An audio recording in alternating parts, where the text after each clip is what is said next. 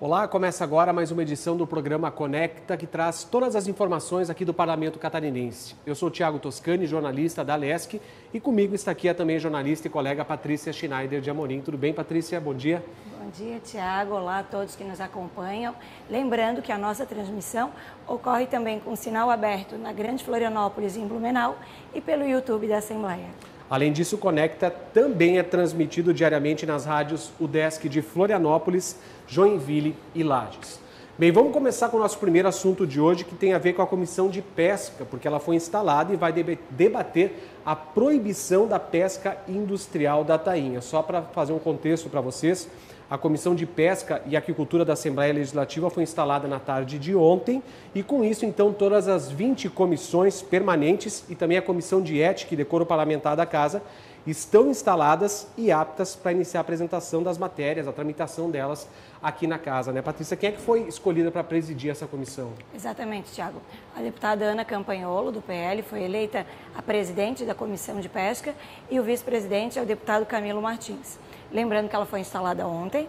É, e na, na sequência, a deputada já convocou uma reunião extraordinária para já debater o primeiro assunto, que trata da, do pedido né, de uma realização de audiência pública para debater a proibição da pesca industrial da tainha em Santa Catarina.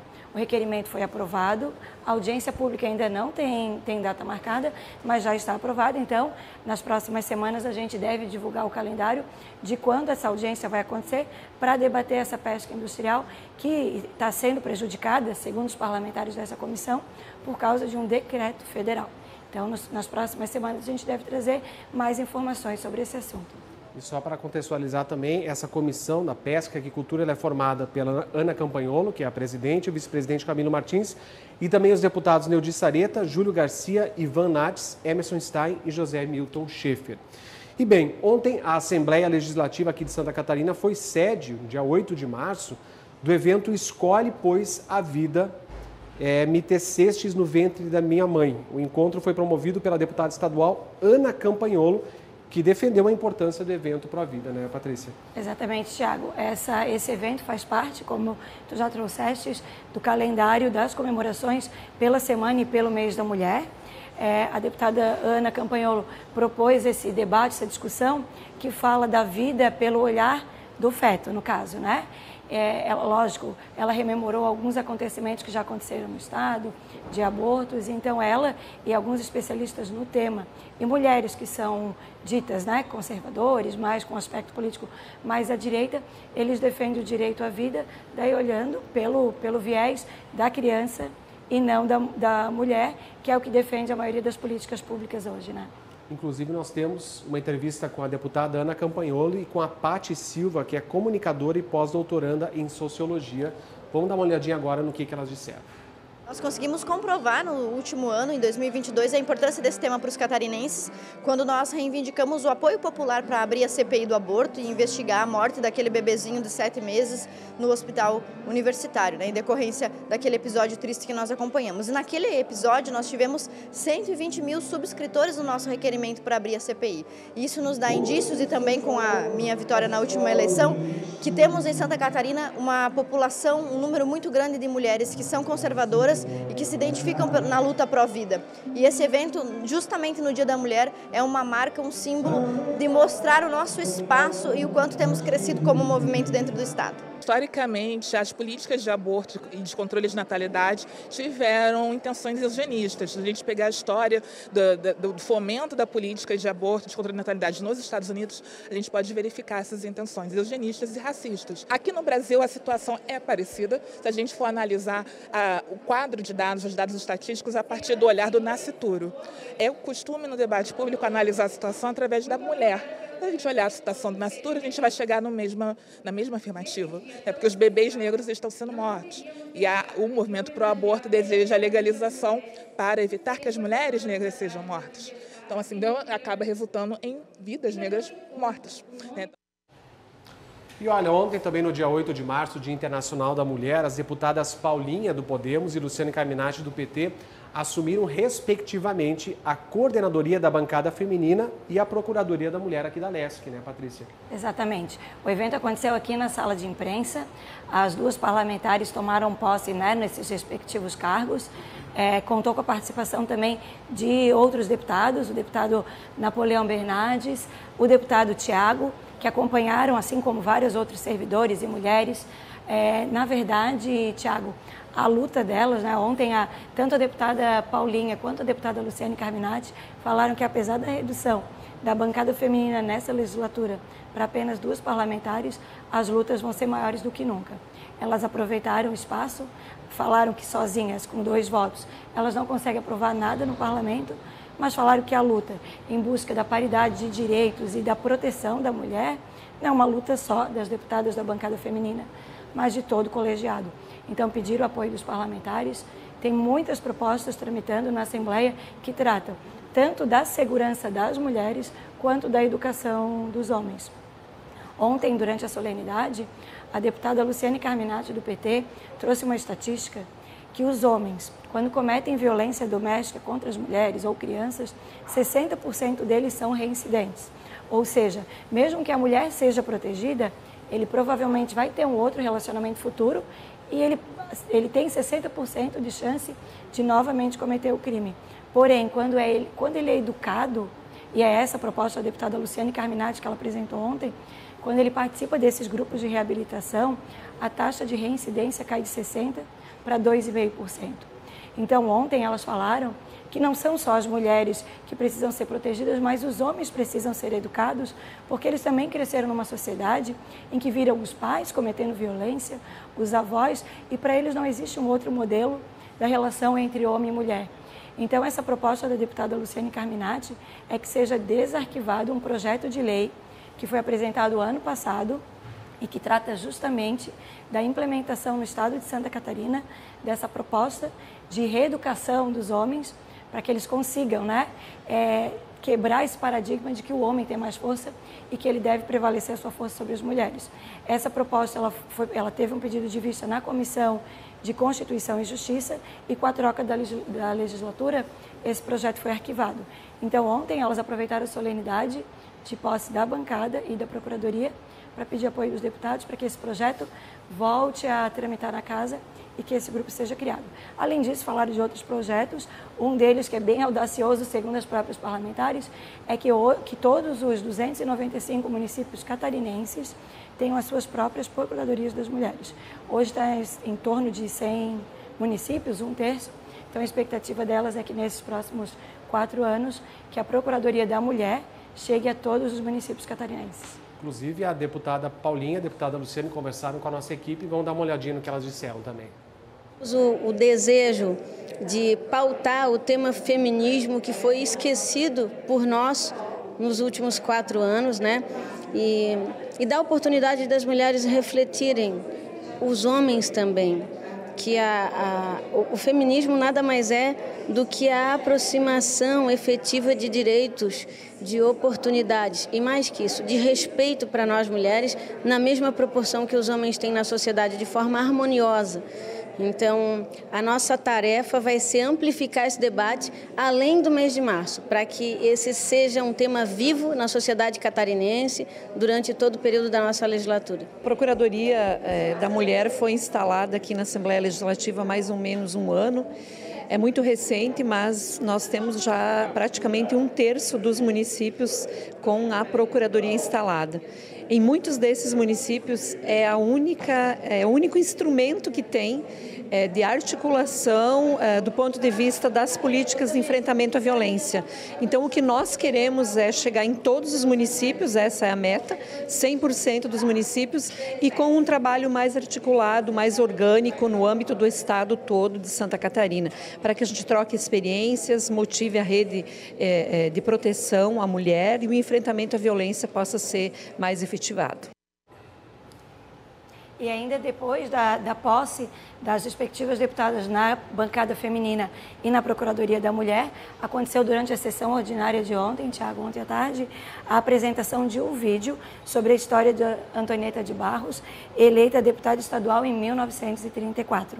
A sessão foi interrompida, o vídeo foi apresentado aos parlamentares e a quem estava aqui nas galerias da Assembleia e conta a história da mulher, da primeira mulher negra a ocupar um cargo no legislativo no Brasil relatos da época, a trajetória da professora, jornali jornalista e política, assim como as impressões sobre as desigualdades sociais e as diferenças entre negros e brancos, foram abordados pela atriz e produtora Gisela, Gisele Marques no papel da parlamentar.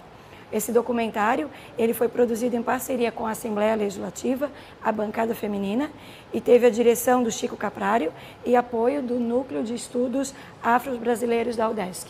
Então, os deputados puderam assistir esse vídeo, esse documentário histórico que homenageia, né, nada menos merecido do que no Dia das Mulheres, a primeira mulher deputada estadual do Brasil. Feito, dado o recado então, Patrícia, agora aqui no Conecta a gente vai ter a participação do nosso colega Rony das redes sociais. Tudo bem, Rony? O que, que você traz de novidade para a gente hoje? Olá, Tiago, Patrícia. Olá, você que nos acompanha. Hoje o nosso quadro Deputado na Rede traz o deputado Sargento Lima, que ele é um deputado de segundo mandato da região de Joinville e o deputado celebra aí nas redes sociais uma conquista para a cidade cultural, né, que é as sociedades de tiro esportivo de lá, que é um vieram com os primeiros imigrantes alemães e é uma tradição que se mantém na cidade, foi declarada patrimônio cultural lá de Joinville. O deputado Sargento Lima, ele é autor da lei que cria a rota turística do tiro esportivo aqui em Santa Catarina. A gente teve um amplo debate sobre esse tema na Assembleia, que envolveu aí as sociedades de tiro esportivo aqui em Santa Catarina, as sociedades culturais. É uma lei que já está em vigor e o deputado aí está esperando que ela saia do papel com o apoio do governo do estado. Se você quiser saber mais, é só acessar o, o Instagram do deputado, arroba Dep Sargento Lima. E nas redes sociais da casa a gente traz aí o nosso primeiro, a nossa primeira enquete do ano, com qual a sua opinião.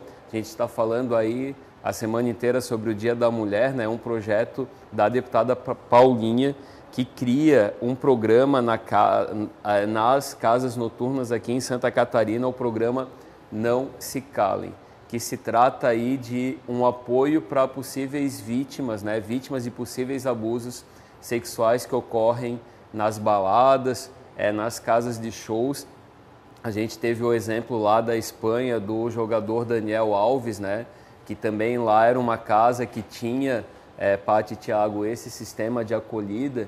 Então a deputada Paulinha ela traz esse assunto aqui para o parlamento e a gente quer saber qual a sua opinião. A, a enquete está bombando lá, é só acessar o arroba Assembleia SC no Facebook ou no Instagram para poder participar. Hoje era isso. Para ficar bem informado, então sempre acessar as redes sociais da LESC. Né, isso, Rony? arroba Assembleia SC. Tá certo. Obrigado pela sua participação mais uma vez aqui no Conecta, Rony. Obrigada. Continuando então, gente, agora a gente vai falar de um projeto de iniciativa popular, porque servidores querem a revogação da alíquota de 14% paga por aposentados e pensionistas. Eles estiveram ontem reunidos aqui na Assembleia Legislativa com caravanas que vieram de todo o estado, né, Patrícia?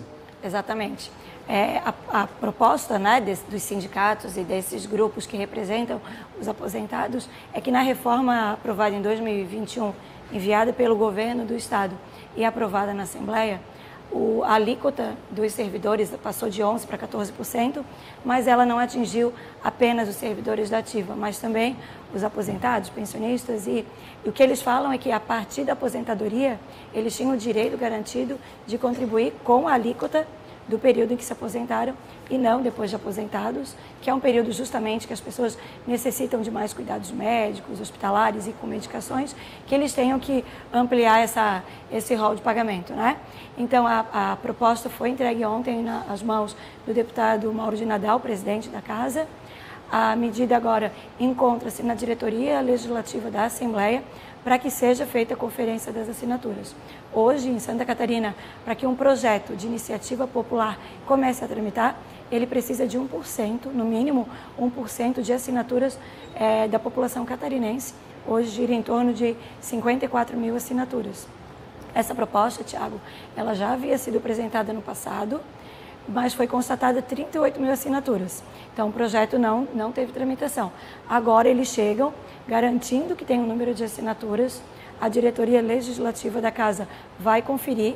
Se tiver tudo ok, ela manda para o TRE, o TRE avalia título de eleitor, se realmente essa pessoa é inscrita no TRE de Santa Catarina.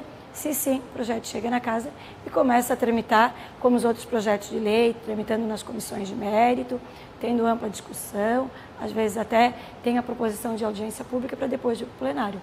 Então a notícia é: projeto chegou, mas ele ainda não está tramitando, porque agora ele aguarda a conferência. A mobilização foi grande ontem, tanto aqui dentro da Leste quanto fora, né, Patrícia? Exatamente, as caravanas vieram de todas as regiões. Esse é um apelo, né, de é antigo, como, a gente, como eu já trouxe, já foi pedido no passado, e que atinge servidores e aposentados de todas as regiões do estado. Então a gente entende o apelo, a movimentação e o motivo de terem tantas pessoas ontem aqui no Palácio Barriga Verde. Tá certo. Mudando então um pouquinho de assunto, agora a gente vai falar da Comissão de Agricultura e Política Rural da Alesc, que aprovou na manhã de ontem a realização de quatro reuniões de debate sobre temas ligados ao agronegócio, para as quais foram convidados integrantes do governo do estado e também entidades representativas do setor. Patrícia. Exatamente. Ainda terão alguns desdobramentos dessa dessa reunião, né, alguns requerimentos, mas eu posso trazer, por exemplo, que por iniciativa do deputado José Milton Schaefer, do PP, a comissão vai colocar em debate a gripe aviária e a sua presença na América Latina, bem como as medidas de precaução e prevenção. Uma outra proposta também é do deputado Altair Silva, que, que trata do Observatório Agro-Catarinense.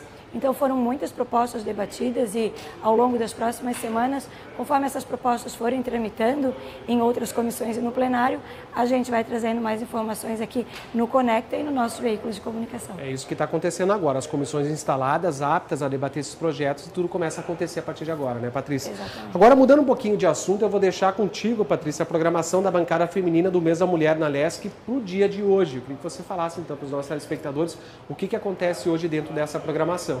Então, hoje, nessa quinta-feira, dia 9, no hall e no plenarinho, acontece a apresentação Tecendo é, a Afroliteratura da Mulher na Alesc e também às 19 horas, no, no plenarinho é, Paulo Stuart, a roda de conversa sobre a editora Cruz e Souza. Então, são são eventos que estão sendo organizados pela bancada feminina, Observatório da Mulher, pelas próprias deputadas e que falam da feminilidade em várias situações. Mulher empreendedora, a mulher negra, sobre as deputadas. Então, todos estão convidados, os eventos são abertos ao público, as pessoas podem se dirigir até o Palácio Barriga Verde e acompanhar essas atividades. Ambas acontecem às 19 horas. Mês de março, então, com importantes atividades para o mês da mulher. Enfim, o programa Conecta dessa quinta-feira fica por aqui. Você pode acompanhar a nossa cobertura completa no site da Agência L, que é o agencial.alesc.sc .gov.br. Daqui a pouquinho começa a sessão, os deputados já estão se movimentando aqui atrás, né, Patrícia? Mas você ainda tem algumas informações aí para quem quiser acompanhar Exato. nossa programação. Né? Exatamente. Não deixe de acompanhar arroba Assembleia SC, YouTube, Instagram, Facebook. E lembrando que o Conecta ele acontece às terças e quartas antes da sessão ordinária que inicia às 14 e quinta-feira ele acontece antes da sessão ordinária que inicia às 9 horas da manhã já está começando, como o Thiago trouxe. Então a gente termina esse Conecta. Até o próximo Conecta. Até o próximo. Na terça-feira que vem. Tchau, tchau.